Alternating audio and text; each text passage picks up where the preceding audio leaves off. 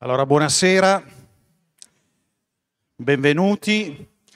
Io sono stato incaricato dalla direzione di Palazzo Ducale di fare appunto un saluto a tutti voi, lo faccio molto volentieri, sembrano quel tempo in cui gli arcivescovi di Milano si rifugiavano a Genova e sono rimasti qui per tanti secoli. Quindi la consuetudine con questo palazzo mi ha fatto entrare in confidenza al punto che posso rappresentare il direttore che vi dà naturalmente il benvenuto. Ho voluto essere qui perché eh, quest'anno, in questa edizione, eh, si inserisce una nuova eh, voce che è quella di Alessandra Quarto, che è la neodirettrice del Museo Pol di Pezzoli di Milano. Solo due mesi fa ha avuto questa, questa nomina. E mi fa piacere perché entra una nuova voce, entra una nuova professionalità e, e tra l'altro l'argomento scelto è un argomento molto vicino a voi perché si tratta di raccontare i segreti del Centre Pompidou di Parigi di Renzo Piano. Alessandra IV ha accettato questo incarico, devo dire, per amicizia, perché nel momento in cui gliel'ho formulato era oberata letteralmente di lavoro, perché eh, questa persona così eh, eh, apparentemente gracile è stata in questi anni responsabile e funzionaria dei musei di Capodimonte, della sua città, Napoli, eh, dove ha lavorato a fianco del grande sovrintendente Nicola Spinosa e ha contribuito in quegli anni a rilanciare il, ehm, il, museo. In qualità di architetto, di grande esperta di museografia, di museologia, e quindi questa sua specificità l'ha portata ad essere molto eh, apprezzata nel mondo appunto di, quest, in questo campo di eh, musei messi al servizio del pubblico. Poi un concorso fatto così en passant le ha fatto vincere la, la, qualifica di conservatrice a Brera, dove è stata anche la vice direttrice a Milano, dove io l'ho, poi l'ho conosciuta.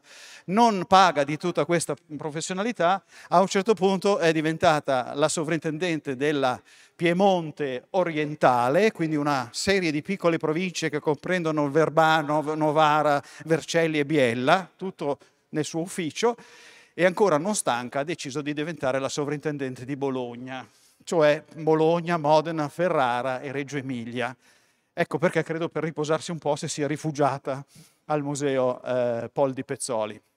Questa sera ha deciso di raccontarci appunto un edificio molto iconico, molto famoso, ma come vedrete pieno di storie segrete e anche particolarmente interessanti. Quindi do subito, dandole il benvenuto, la parola ad Alessandra Quarto. Pronto? Sì. Mi sentite? Grazie.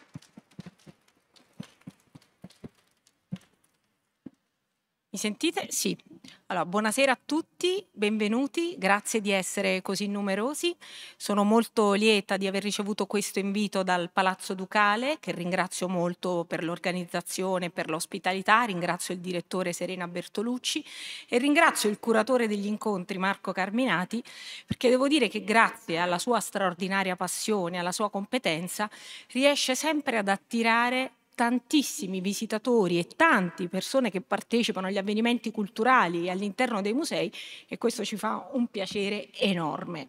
Quindi abbiamo scelto questo argomento, tra l'altro nella città di due dei tre progettisti del Centre Pompidou, quindi mi riferisco a Renzo Piano e a Gianfranco Franchini, perché proprio una sera raccontando quelle che sono le sfide dei musei, la gestione, la manutenzione, tutte quelle diciamo, attività di backstage che sono diciamo, abbastanza impegnative, gli ho raccontato che il Centre Pompidou si appresta di nuovo a essere chiuso per tre anni per ristrutturazioni ed è la seconda volta perché questo grandissimo edificio, un'icona, un'attrazione mondiale, non soltanto più parigina, che ha fatto soltanto nel primo anno di apertura 6 milioni di visitatori, che sono un dato importantissimo, e che ha una straordinaria collezione di 70.000 opere tra arte visiva, eh, arte di architettura, design, fotografia, ad un certo punto eh,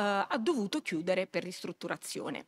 E mi piace molto raccontare cosa c'è dietro questo grande simbolo di Parigi, soprattutto le decisioni che hanno portato alla sua costruzione, le sfide progettuali e strutturali di questo edificio e anche un po' le polemiche, tutto quello che c'è stato. Bene, inizierei ah, questo, con questa slide vi dico che chiuderà, doveva chiudere a dicembre del 2023, quindi quest'anno, ma poiché a Parigi ci sono i giochi ehm, olimpionici a luglio e agosto del 24, ovviamente è stata modificata la data, infatti questo l'ha preso da alcuni giornali francesi, quindi chiuderà ad ottobre del 24 per riaprire a gennaio del 2027, e cioè quando compirà 50 anni dalla sua costruzione. Quindi per festeggiare il cinquantesimo anniversario sarà eh, riaperto al pubblico. Saranno spesi per la ristrutturazione 200 milioni di euro, quindi il governo francese ha stanziato questa cifra. E praticamente i suoi 1300 dipendenti che già erano stati un po' diciamo smistati nelle varie altre altri edifici e soprattutto nel 97 quando ci fu la prima ristrutturazione trovarono ospitalità in un Leroy Merlin, adesso saranno dislocati in vari edifici e mm, sta, mm, lo Stato sta cercando uno spazio di 10.000 metri quadrati che dovrebbe ospitare la biblioteca, perché questo grande polo contiene anche una straordinaria biblioteca. Quindi per raccontarvi anche le decisioni che ci sono alla base di questa costruzione, inizierei con una proposta che lanciò Le Corbusier, il padre dell'architettura razionalista, che eh, su, durante un'intervista disse che nel cuore popolare di Parigi bisogna creare una grande casa della cultura, dove possano entrare senza ostacolo coloro che non hanno l'abitudine di vercare le porte di un museo, di un teatro o di una biblioteca. Erano gli anni 60 e quindi si sentiva forte questa esigenza di creare un polo culturale. Una persona di una straordinaria visione e anche cultura accolse questa proposta e mi riferisco a Georges Pompidou, presidente della Quinta Repubblica francese, che fu eletto il 15 giugno del 1969 subentrando al generale Charles de Gaulle di cui era stato primo ministro. Cosa era accaduto? Che durante il maggio del 68 la città di Parigi era insorta, eh, milioni di operai e di studenti avevano iniziato a scioperare, la Francia era paralizzata, tantissimi ministeri non riuscivano più a lavorare e si protestava per i salari troppo leggeri, eh, diciamo, eh, con carro armati troppo pesanti. E questi erano anche dei disegni che erano stati serigrafati nelle Col delle Beaux-Arts e venivano affissi a Parigi. De Gaulle si trova in difficoltà, non gli era mai capitata una situazione così complessa, c'erano barricate, comunque insurrezioni importanti e quindi il 29 maggio del 68 abbandona la Francia senza neanche dare spiegazione al suo primo ministro Pompidou e va in Germania, a Baden-Baden, da quello che era stato il comandante delle truppe di occupazione francesi in Germania, Jacques Massieu, e va a chiedere aiuto. Dice, io sono in una condizione di totale paralisi, nel caso ci fosse bisogno vi chiederei di intervenire. Ritorna in Francia e grazie alle mediazioni di Jacques Chirac, che vedete in alto a sinistra, e Georges Pompidou, Jacques Chirac era un giovane ministro dell'economia, Georges Pompidou era il primo ministro di De Gaulle, si riesce a ristabilire un equilibrio, ma di lì a poco De Gaulle rassegnerà le dimissioni ci saranno le elezioni, grande vittoria gollista e Pompidou diventerà presidente della Quinta Repubblica un insegnante di lettere classiche al liceo di Marsiglia, un uomo di straordinaria cultura, un visionario. Inizia immediatamente una politica di rilancio della Francia contro quello che era il potere degli Stati Uniti. Come lo fa? Capisce che gli Stati Uniti hanno il primato della tecnologia, dell'economia e con i grandi musei che si erano creati anche della cultura.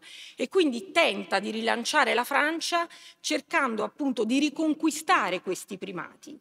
E lo fa per la tecnologia facendo costruire il Concorde, il primo grande aereo che a gennaio del 70 volerà per accorciare le distanze tra l'Europa e gli Stati Uniti e quindi per raggiungere in poche ore quelle distanze che erano state fino ad allora enormi. E poi con la rete del TGV, che ancora oggi noi sappiamo l'alta velocità mette in comunicazione Parigi con le grandi capitali europee. E poi capisce che grazie al potere del petrolio gli Stati Uniti gestiscono comunque anche tutte le energie e inizia una massiccia costruzione di centrali nucleari, ben 13, per rendere la Francia indipendente dalla produzione di energia dagli Stati Uniti. E non ultimo rilancio di Parigi come capitale mondiale della cultura, avviando una modernizzazione delle istituzioni culturali. È qui che si decide di creare il grande polo culturale che sarà il Centre Pompidou e inizia un suo diciamo, manifesto che quello, lui dice vorrei creare un grande polo al centro della città di Parigi che sia allo stesso tempo un museo ma anche un centro di creazione, quindi con musica, biblioteca, cinema, eh, contenuti audiovisivi. Vedete, oggi ci sembrerebbe molto normale un'operazione del genere. Nella Francia degli anni 70, all'indomani de, appunto, delle insurrezioni del 68, in una Francia molto classica, molto austera, questa era già una grande opera, diciamo, di grande visione. Dove allocare questo grande monumento di Parigi? Vedete, l'ho cerchiato nell'area popolare di Parigi, in un'area popolare di Parigi, nel plateau Beaubourg, è per questo che tutti spesso chiamano il Centre Pompidou Beaubourg, in quello che era un disordinato parcheggio, un'area che era rimasta vuota dopo delle demolizioni degli anni 40, dove tantissimi architetti, tra l'altro lo stesso Le Corbusier, si erano cimentati per ricucire diciamo, questo vuoto all'interno della città, Qui arrivavano tutti i camion che dovevano rifornire i grandi mercati centrali, che vedete nella, nella parte a destra, quei 12 padiglioni. Allora, questo è il parcheggio di cui parliamo e questi sono i 12 padiglioni dei grandi mercati Le Halles di Parigi un'opera straordinaria realizzata dall'architetto Victor Bartald nel 1853 e che erano quella prima diciamo, operazione di modernizzazione urbanistica che Napoleone III aveva fortemente voluto e aveva dato incarico al prefetto Georges Haussmann di trasformare Parigi. Perché? Perché Parigi allora era ancora una città medievale, con le strade strette che si prestavano benissimo per le barricate, per le insurrezioni, con delle situazioni igienico-sanitarie sicuramente non eh, diciamo adeguate e poi con dei palazzi molto addossati, quindi pensate che era una città molto eh, ancora di impianto medievale. Cosa fa nei suoi 17 anni di mandato, dal 1853 al 1870, il barone Osman? Apre dei grandi boulevard, grandi viali, come per esempio anche quello dell'Etoile, Place dell'Etoile, dove adesso c'è l'Arche de Triomphe, che infatti è detto Etoile perché dall'Arche de Triomphe partono 12 viali a raggiera elabora, pianifica grandi piazze e soprattutto scende talmente nel dettaglio come se fosse un piano regolatore dettagliato, stabilisce anche delle chiare regole sull'altezza degli edifici, sul numero delle bucature infacciate, sulla proporzione tra l'altezza dell'edificio e la strada, questo è molto importante perché deve dare respiro ovviamente e il volto di quella Parigi è quella che noi oggi vediamo. Quindi i mercati centrali, le Halles, erano proprio uno di questi primi interventi che si affacciavano alla modernizzazione urbanistica. Le Halles, tra l'altro, come vedete in questa immagine, erano dei bellissimi edifici in ghisa e vetro, molto leggeri. Baltard aveva detto che la leggerezza era il fondamento dell'economia, in una lettera scritta a Napoleone. E soprattutto questi edifici erano stati realizzati due anni dopo le grandi esposizioni universali di Londra, 1851, dove era stato presentato il Crystal Palace di Joseph Paxton, una grandissima opera in ferro e vetro, tra l'altro smontabile e rimontabile, questo era un grandissimo diciamo, passo in avanti della, della tecnica, quindi le Halles erano eh, realizzate su quel modello. Cosa accade? Che nel 69, 1969 il sindaco di Parigi ritiene che questi edifici non abbiano all'interno delle condizioni igienico-sanitarie, eh, proprio perché erano grandi mercati, c'erano anche animali e quindi dovevano essere spostate fuori dalla città. Bene, se ne ordina la demolizione. Questo porta comunque grandi opposizioni, grandi polemiche. Eh, le persone accusano Pompidou di aver cancellato un simbolo di Parigi, perché comunque mh, queste strutture le avevano regalato il titolo di eh, capitale europea del eh, XIX secolo. Erano una, una sorta di monumento della città e soprattutto era un importante brano della città, del tessuto urbanistico. Ma si va avanti e Pompidou dà l'ok per farle trasferire fuori dalla città e demolire quest'area. In realtà la cultura architettonica per tantissimi anni ha attribuito la colpa di questa demolizione al Centre Pompidou, ma non è così perché come abbiamo visto nelle slide precedenti il plateau Beaubourg era da un'altra parte. E vi mostro un'immagine di come le Halles si siano poi trasformate negli anni. In alto eh, a sinistra la, le Halles sul progetto degli anni 70, un grande centro commerciale con un grande snodo ferroviario che ancora oggi c'è e poi nelle altre due slide il progetto che è stato realizzato nel 2016, la cosiddetta canopée, una grande copertura che ospita questo grande centro commerciale e tutto lo snodo ferroviario sotto. Questo è il dato che ho recuperato. Le, questo forum delle Halles ospitano circa 37 milioni di visitatori ogni anno, tra viaggiatori e visitatori del centro commerciale. E guardate, nella slide si può vedere il Centre Pompidou, lo vedete, che si trova quindi in un'area che è un'area eh, diversa. Questo era il programma di, um, di um, Georges Pompidou. Bevo un attimo. Avere comunque un edificio che abbia in sé i caratteri di originalità e creatività. All'epoca questi modelli non c'erano. C'erano soltanto dei musei in America, ma non contenitori culturali di questo tipo e quindi avvia questo programma che era un programma che in realtà si scontrava con quella che era la tradizione culturale francese, osmaniana, austera, classica. Era completamente innovativo. Lo porta avanti e cosa fa? Scrive il più bel bando di architettura, di concorso di architettura internazionale, molto preciso, tutto commentato, dove all'interno per tutte le richieste molto complesse delle varie diciamo, attività che ci dovrebbero essere, anche delle indicazioni progettuali, è molto dettagliato. E addirittura nel bando si legge potranno costruire quest'opera tutti, soprattutto se giovani e non importa se non avranno i mezzi finanziari su cui contare. E questo è anche un manifesto politico, comunque di una visione che vuole ampliare i confini, che vuole aprirsi anche ai più giovani e quindi nomina nove giurati, i più importanti architetti, ma anche direttori di musei, ma anche direttori di biblioteche che c'erano in quel momento, perché essendo il museo, monumento che bisognava edificare, un polo culturale, c'era bisogno nella giuria di competenze trasversali, perché ci doveva andare una biblioteca, perché comunque un direttore di un museo doveva sapere quali erano le necessità di un museo e poi presiede questa giuria Jean Prouvé, che era un uomo che si era formato nella, nella, nella fabbrica, nell'industria, un uomo della forgia e questo infatti portò tante polemiche perché non era considerato un architetto e quindi le opposizioni degli architetti francesi furono mirate proprio alla carenza di requisiti del presidente della giuria. In questa foto vediamo Philip Johnson, architetto americano, poi ci sarà anche Oscar Niemeyer, che è l'architetto brasiliano, e ehm, parteciperanno, e questo è un altro dato per far capire la grandezza di questa operazione, 681 concorrenti provenienti da tutto il mondo.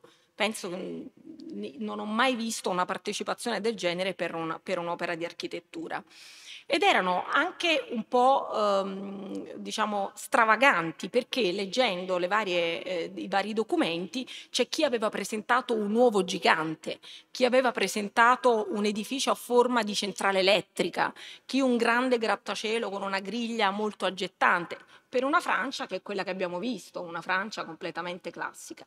E tra tutti questi vincono dei giovani eh, straordinariamente giovani, sconosciutissimi, non francesi, di cui due, ma qualcuno dice tre italiani perché Richard Rogers è nato a Firenze, ed erano Richard Rogers, all'epoca 38enne, Renzo Piano, all'epoca 34enne, Sue Rogers, che è la moglie di Richard Rogers, ma che di lì a poco si separeranno, per cui aveva lavorato soltanto ad una prima fase di questo progetto, e Gianfranco Franchini, genovese come Renzo Piano, grande amico di Renzo Piano, avevano studiato insieme al Politecnico e condividevano a Milano una casa insieme, quindi anche un gruppo legato da una grande amicizia.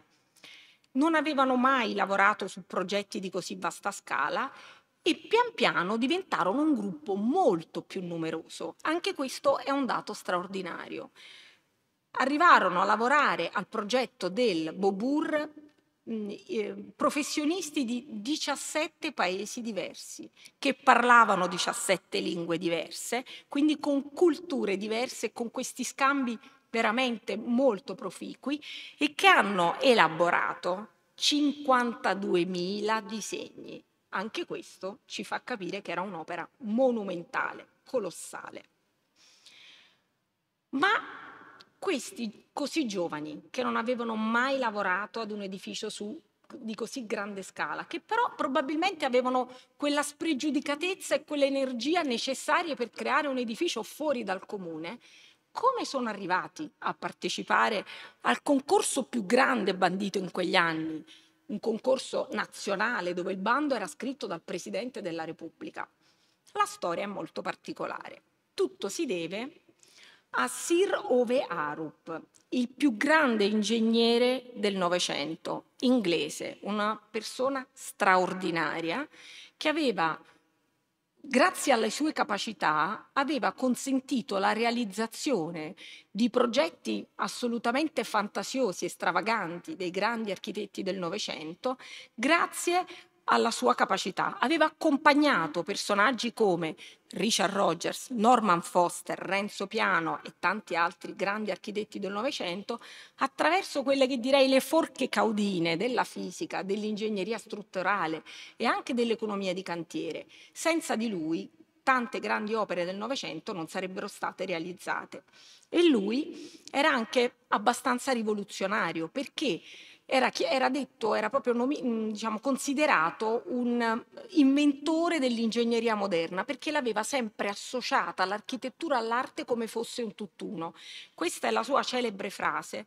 Un mondo che vede l'arte e l'ingegneria divise non sta vedendo il mondo nel suo complesso e questo ci fa capire anche la sua grandezza. Tra l'altro, un dato molto importante che mi ero segnata, ma lo ricorderò, eh, è che Ove Arup attualmente, lo studio di Ove Arup ha 14.000 dipendenti, 92 uffici in 35 paesi e attualmente ha 160 cantieri in 160 paesi. Quindi questo ci fa capire anche che era una persona di una levatura importante. Senza di lui non si sarebbe non sarebbe stata realizzata la grande Opera House di Sydney. Perché? Perché il governo australiano aveva bandito un concorso per quello che doveva essere il monumento della città di Sydney. E il mm, presidente della giuria, che era Hero Sarinen, un grandissimo architetto, nomina un giovane architetto danese, Horn Hudson, Peccato che dopo pochi giorni la giuria, rivedendo i disegni, dice questa non è realizzabile, perché era talmente avveniristica, queste vele, conchiglie, elementi comunque così leggeri, si chiede anche eh, a Pierluigi Nervi un parere e Pierluigi Nervi dice secondo me non è realizzabile. Considerate la situazione, concorso aggiudicato, il presidente della giuria ritiene che sia realizzabile, chiamano Sir Ove Arup.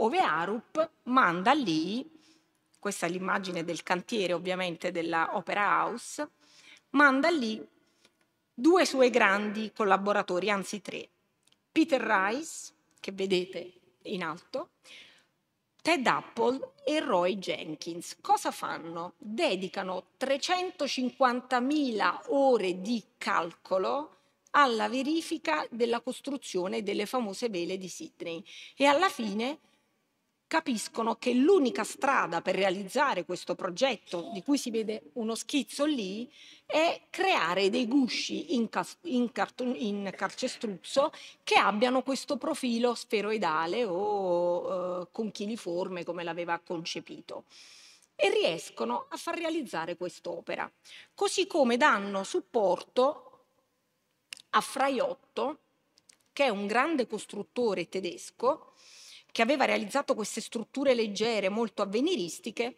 e che era stato chiamato a realizzare lo stadio olimpico di, Mo- di Monaco. E qui arrivano Peter Rice e Ted Apple e gli dicono attualmente c'è in corso un bando di progettazione per il più grande monumento della Francia, un grande museo, un grande polo culturale che deve ridare alla Francia il ruolo di capitale mondiale della cultura. Ci suggeriresti qualche architetto che ritieni all'altezza e noi come Ove Arup possiamo dare il supporto come ingegneri e soprattutto, se ricordate, il bando diceva anche senza mezzi finanziari, ove Arup era disposto a pagare tutto quello che sarebbe costato. E Fraiotto fa il nome di Richard Rogers. Dice c'è un architetto giovane molto intelligente a Londra, andate da lui con il bando e i due vanno a Londra. Richard Rogers alla Scarlattina e li fa ricevere da Renzo Piano. Da lì nasce la formazione. Renzo Piano, Gianfranco Franchini, Richard Rogers e per un periodo Sue Rogers. Quindi una grande sfida. Ed erano gli anni di quelle che vedete eh, le architetture proposte dallo studio degli Archigram a Londra, che pubblicava delle riviste, con queste città molto futuristiche, si chiamavano walking city, città dinamiche dal movimento, con questi palloni aerostatici, contro quella che era la monumentalizzazione delle architetture, quindi dinamismo e molta leggerezza e probabilmente i nostri giovanissimi si erano ispirati anche a queste architetture. E la proposta che vince al concorso è questa. Quella che vedete è l'immagine di un modellino, di una maquette, che aveva pagato Ove Arup perché riteneva indispensabile per far capire questo progetto alla giuria che ci fosse un modello.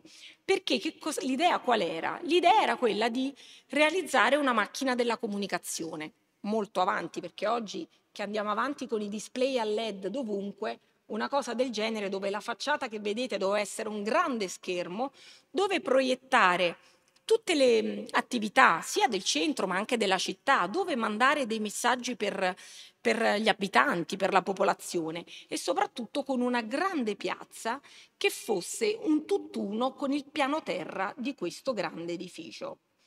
La piazza è stata sicuramente una delle caratteristiche che ha fatto, um, diciamo, um, protendere per questo progetto, perché tutti gli altri concorrenti avevano completamente occupato quell'otto vuoto con una costruzione. L'idea invece di avere un dialogo tra la città e il museo, una piazza che entrasse dentro l'edificio senza filtri, un dentro fuori, era sicuramente un'idea vincente. Purtroppo lo schermo, che come vedete dai dati che vi ho messo, la facciata era lunga 166 metri, non era realizzabile per questioni di budget e quindi dovettero poi pensare ad una alternativa al progetto. Questo è la, il progetto presentato. Vedete, probabilmente soltanto il grafico non avrebbe dato l'opportunità di capire com'era il progetto, da qui la necessità di creare la maquette. il progetto viene rielaborato e questa è la versione definitiva.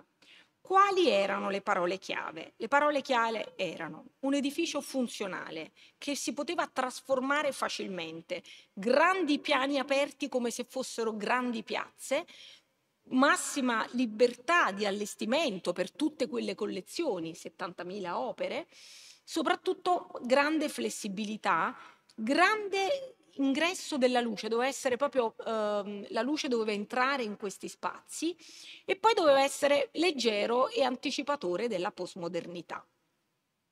Quindi tutti elementi che erano una vera sfida sia per gli ingegneri strutturali sia per gli architetti. Perché? Perché per gli ingegneri por- l'idea era di portare fuori tutto quello che normalmente è il cuore dell'edificio e fuori mi riferisco agli impianti, agli ascensori, alle scale mobili e tutto quello che veniva detto flussi. Tutti i flussi devono essere all'esterno perché per poter dare massima libertà ai vari piani espositivi, non ci dovevano essere ascensori, ehm, impianti e quindi doveva essere portato tutto fuori. Una grande sfida strutturale, ma anche una grande sfida in termini di linguaggio formale, perché un, un edificio che ha tutti gli impianti fuori, come facciamo a renderlo un edificio formalmente gradevole? Quindi la sfida era molto importante. Questo è uno schizzo di Renzo Piano dove appunto si vede questa grande scala che viene chiamata spesso bruco, che si snoda dal piano terra e che raggiunge anche le terrazze, e poi questi elementi di leggeri, travi molto leggere, che dovevano far entrare tutta la luce e tutto quello che era il cuore dell'edificio, e quindi aria, acqua, calore, persone, doveva essere portato fuori. E questo è un primo disegno di quella che è la griglia del prospetto sulla piazza. Quindi una semplicità, una grande semplicità. Questa è l'immagine che mm, adesso ha il, eh, il, museo, ma come si arriva ad avere questo involucro di acciaio che, po- che poi potesse a sua volta sorreggere tutte le, le, diciamo, le strutture esterne? Ci pensa Peter Rice della Ove Arup. E inizia a studiare la tipologia di trave reticolare che può realizzare questo grande parallelepipedo di 166 metri, alto 45 metri studia, ehm, visita anche i cantieri sia delle isole artificiali dell'estrazione del petrolio nel Mar del Nord, sia quelle che sono le grandi centrali nucleari, per capire come strutturalmente si possa andare incontro a queste esigenze di massima leggerezza, massima luce, tutto fuori, nulla dentro. E questa è un'immagine del, della struttura, ma ci ritorniamo, arriva a pensare alla trave Warren, che è una trave reticolare che dà la massima leggerezza, massima flessibilità e che riesce a coprire grandi luci, però la dimensione standard della trave Warren è 42 metri e non era sufficiente per, il, per, la facciata. Quindi innanzitutto di base doveva essere 50 metri, ma poi doveva essere moltiplicata tantissime volte, sia perché è posta comunque eh, lungo tutta la facciata. Come fare? Questa era una grandissima sfida e qui arriva una, una grande opposizione da parte della città, perché l'unica mh, trave che poteva appunto coprire questa luce era la trave Warren. In Francia tutte le ditte, le industrie si erano immediatamente opposte, nessuna voleva realizzare questo tipo di trave, ma avevano proposto delle soluzioni alternative. C'è un grande impasse, interviene Pompidou, il quale dice si può produrre anche fuori. Chi le produce?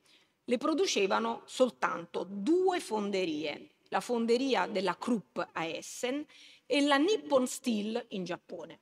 Ovviamente i prezzi sarebbero stati impossibili. Guardate già due paradossi. Questo centro così moderno a vederlo è invece una grande opera di veramente artigianato, è un grande assemblaggio di pezzi realizzati con la, l'arte della fonderia e poi le strutture vengono realizzate in Germania e non in Francia, per il grande monumento della Francia.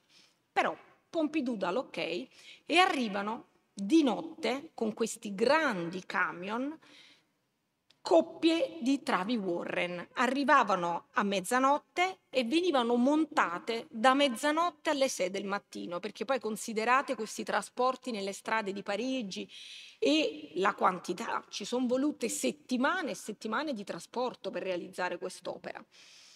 E infatti un altro elemento necessario per realizzare quell'edificio che abbiamo visto, che adesso vedremo di nuovo nello scheletro, per raggiungere questo equilibrio, per chiudere in facciata le, le, travi Warren con i pilastri verticali che comunque scandivano la facciata era un elemento che bisognava eh, capire, ricercare.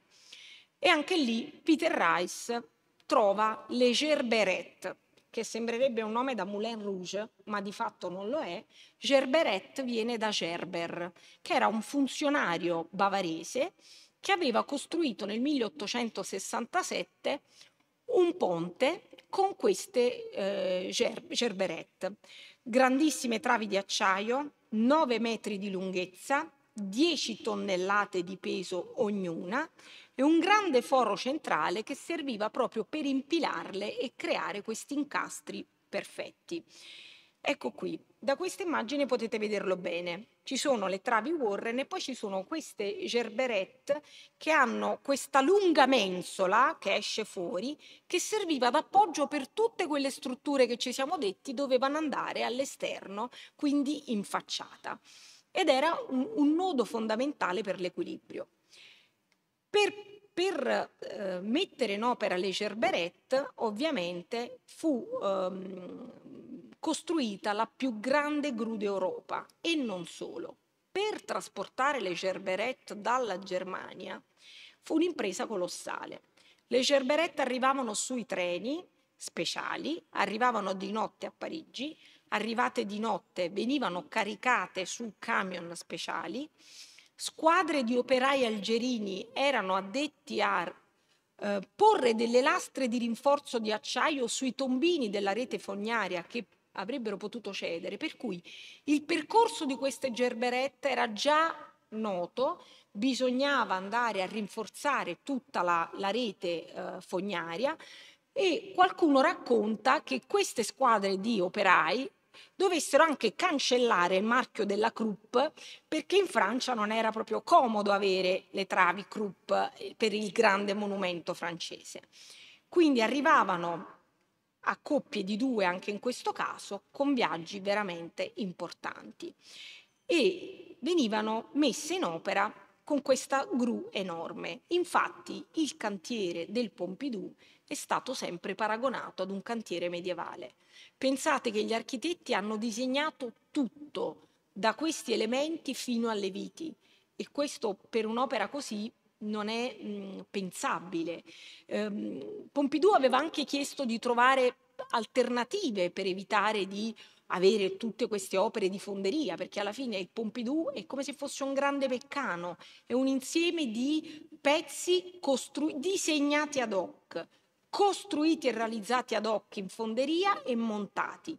Un po' ci fa pensare alle famose hall del 1853, dove i pezzi erano tutti montati ed erano smontabili. Quindi un grande capolavoro di modernità, ma con una te- tecnica costruttiva ottocentesca. Quindi questo è anche per me un grandissimo segreto. Non mi aspettavo che ci fosse alla costruzione di questo avveniristico edificio invece un'operazione così dettagliatamente artigianale. Senza eh, l'operazione della fonderia questo edificio non sarebbe esistito. Vi mostro dei dettagli, ecco questo è il, um, una, un'operazione in cantiere, il montaggio di una, di una, trave Warren. Avevo riportato una frase di Peter Rice perché era molto interessante, che diceva che se non ci fosse stato il sostegno di Jean Prouvé, che era il presidente della giuria, ma anche del presidente Pompidou, che aveva dato un supporto convinto che quell'operazione si potesse realizzare nonostante l'opposizione, perché guardate che il Pompidou ha incontrato la stessa opposizione della Torre Eiffel, ha avuto tantissimi nomignoli, supermercato di tubi, grande centrale elettrica e era, la Francia all'inizio si era opposta, poi pian piano, e come la Torre Eiffel, sono diventati straordinari simboli. Ma la stessa cosa banalmente è successo per il bellissimo edificio della secessione viennese a Vienna, che ha una bellissima sfera d'oro che era stata ribattezzata Cavolo d'Oro. Quindi diciamo che nella cultura architettonica capitano questi eventi, però L'importante è aver avuto il sostegno anche del Presidente della Repubblica, che però non lo vedrà inaugurare perché Pompidou poi morirà nel 74. Questo è uno schizzo di Renzo Piano dove si vede sia la trave eh, Warren che la Cerberetta. Vedete la Cerberetta come esce fuori, come dà l'idea anche, eh, lo vedremo per le terrazze, serve anche a creare questi grandi spazi. Questi sono dei dettagli con i tiranti. Ecco, i pilastri verticali sono prodotti in Francia, mentre tutti gli altri meccanismi sono prodotti in Germania. Questi sono sempre dettagli e questi sono gli spazi interni, sono delle fotografie storiche per far capire come era la, nata la prima idea, cioè di questi spazi totalmente aperti e flessibili in funzione delle grandi mostre, delle esposizioni, ma anche delle attività, essendo un edificio molto dinamico. Ecco, questa è un'altra immagine, guardate quanto sono grandi questi spazi e un'ultima immagine, se non ricordo male, e poi le grandi terrazze. Le terrazze anche sono una grandissima diciamo, uh, caratteristica di questo edificio perché il rapporto con la città è molto forte, a iniziare dalla piazza um, dell'ingresso, ma anche alle grandi piazze uh, panoramiche che danno l'opportunità di leggere la città da un altro punto di vista. E poi vi ho messo un'immagine dell'interno che guarda verso la, la piazza. Perché? Perché anche in questo caso ci fu un'altra opposizione. Le, I grandi tubi di estrazione, le cosiddette orecchie. Anche lì bisognava chiedere l'autorizzazione al prefetto, un po' come le nostre soprintendenze, e il prefetto aveva detto questo è troppo, dopo tutto quello che era diciamo il Pompidou. Come reagiscono i nostri progettisti? Per sfinimento, ogni tre mesi mandavano la richiesta di autorizzazione, ad un certo punto l'hanno ottenuta e quindi sia nella piazza che eh, nella strada di Rue Regnard ci sono, Ruinard ci sono eh, gli estrattori. Questa è la foto dell'inaugurazione nel 31 gennaio del 1977. Vi ricordo che per un anno ha fatto 6 milioni di visitatori, un dato inimmaginabile. Questa è un'immagine vabbè, del, del, del, Pompidou e questo è il prospetto su Rue de Renard, il prospetto con i famosi tubi e quindi i flussi dell'aria, dell'acqua, dell'elettricità. La sfida che gli ingegneri avevano lanciato agli architetti. È vero che all'interno devono essere spazi enormi e flessibili, però portiamo fuori. E se li portiamo fuori, come fate a realizzare un edificio formalmente gradevole? Ecco le immagini. Gli architetti, suggestionati anche dalla pop art, danno un colore, un colore che individua i vari flussi. Il blu per la reazione, il verde per le tubature dell'acqua, il giallo per tutta la parte elettrica, il rosso per gli ascensori e per le scale non ho dimenticato nessuno, no. Quindi la struttura principale, quella con le travi e i pilastri, è bianca. La struttura con i flussi è una struttura colorata, che però ovviamente richiede poi negli anni grande manutenzione. E ora vi presento la foto, l'immagine del Pompidou nella Parigi di Haussmann. Pensate ad una sorta di astronave che atterra nel quartiere nel cuore di Parigi. Vedete come si vede quella che era la mano che era stata di Osman di avere una città con i tetti tutti uguali con tre scale di grigio, gli edifici con le facciate più o meno con le tinte tutte uguali. Quindi provate ad immaginare in quegli anni la reazione che si poteva avere nei confronti di una struttura così eh, futuristica. Questa è una sezione che ci fa vedere anche la piazza, quindi l'importanza di questo spazio così grande e che entra all'interno dell'edificio e poi i sei piani e uno fuori terra del, dell'edificio, quindi un complesso molto grande, soltanto la biblioteca 10.000 metri quadrati. Cosa succede? Nel 1996, quindi vent'anni dopo la costruzione, bisognava rimettere mano al progetto. Perché? Innanzitutto perché, come tutti i musei, anche noi, dobbiamo adeguarci alla normativa che cambia si evolve e quindi per rispettare tutte le misure tecniche della sicurezza dell'antincendio bisogna adeguare. Adeguare un museo grande come il Pompidou forse non è proprio facile come un museo di una scala più normale. Non solo, Durante la progettazione era stato stimato un ingresso di 5.000 persone al giorno. Di fatto ne entravano 25.000 al giorno. Quindi l'edificio ormai mostrava l'usura da questo, diciamo, vissuto. Benissimo, benissimo che ci siano più visitatori, ma l'edificio aveva risentito e soprattutto ehm, era stato mh, analizzato un dato molto importante, che tantissimi visitatori poi entravano, ma andavano soltanto in biblioteca, che non era a pagamento ovviamente, a vedere diciamo, il panorama della città. Quindi di fronte a tanti ingressi, di cui però non tutti, la maggior parte magari non paganti, per poter ovviamente, questo lo sappiamo anche da direttori di musei, gestire i costi, c'era bisogno di cambiare un po' i flussi. Bisognava rivedere quindi le grandi terrazze e riverniciare i tubi. C'è un concorso, eh, partecipano al concorso Jean-François Baudin e anche Renzo Piano e quindi l'edificio, questa nuova fase dell'edificio viene realizzata principalmente da Jean-François Baudin, ma comunque con la supervisione di Renzo Piano, che ha avuto sempre un rapporto molto viscerale con l'edificio perché comunque è stata una creazione importante.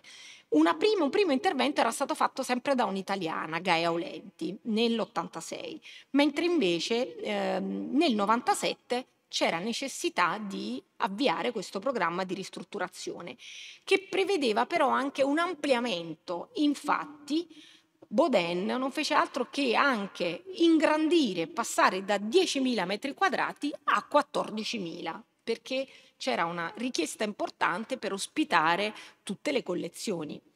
Iniziano i lavori, queste sono foto di cantiere, quindi si, un, si devono creare dei nuovi eh, flussi, percorsi di flussi, nuovi ballatoi, uno scavo interno e quindi per queste opere l'edificio verrà chiuso per tre anni.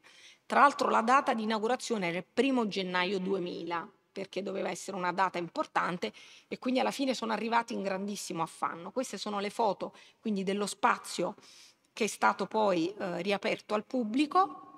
Vedete con questi diversi ballatoi, scali mobili per eh, distinguere i vari flussi e questa è la facciata dopo l'intervento, la facciata ovest che sarebbe quella sulla piazza, dopo l'intervento del 2000. Ops.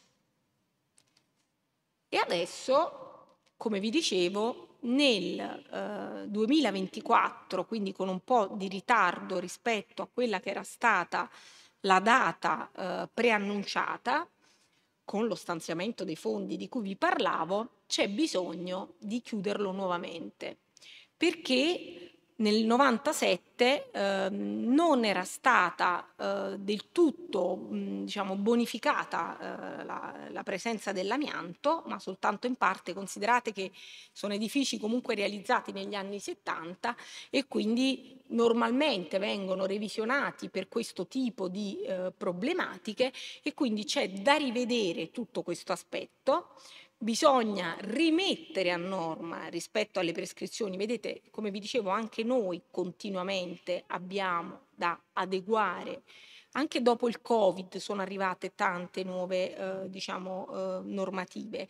Quello che non ho detto prima è che anche dopo gli attentati di Parigi ci sono stati degli interventi per poter creare maggiore sicurezza, quindi anche quello è stato un intervento molto importante che è stato realizzato, addirittura si chiamava intervento antipirati in francese, perché comunque era una, una, una sorta di, di, di diciamo, eh, nome in codice e eh, quindi adesso bisogna nuova, nuovamente metterlo a, eh, diciamo, adeguarlo a tutti quelli che sono le ehm, normative tecniche, anche relative ai flussi, normative energetiche, questo edificio comunque non è un edificio che si presta per quello che è la sostenibilità energetica e quindi studieranno, questo non lo so, lo vedremo quando sarà riaperto nel 2027, e poi anche tutto il problema dell'accessibilità. Quindi è una grande sfida e bisognerà aprire per il cinquantesimo, quindi dovranno assolutamente eh, correre e fare di tutto per poterlo inaugurare nel 2027. E a questo punto, con la prima chiusura per tre anni, dopo vent'anni, quindi vent'anni la prima chiusura, dopo vent'anni la seconda chiusura, leggendo le varie interviste fatte a Renzo Piano in ehm, questo periodo, ho eh, potuto verificare che spesso lui utilizza una metafora, l'ha utilizzata anche in una ultima e recente intervista per il Covid, dopo il Covid, che ehm, c'è un tempio, il tempio di Ise in Giappone, che ogni vent'anni viene demolito e ricostruito, perché in Oriente l'eternità non è costruire per sempre, ma è costruire di continuo. Perché? Perché questa ricostruzione rimanda ad un significato che è quello del rinnovamento e della rinascita. E probabilmente anche questo rinnovamento necessario ogni vent'anni del Centre Pompidou è praticamente in linea con quella che è la metafora della rinascita. Io ho concluso in tempo e vi ringrazio. Grazie.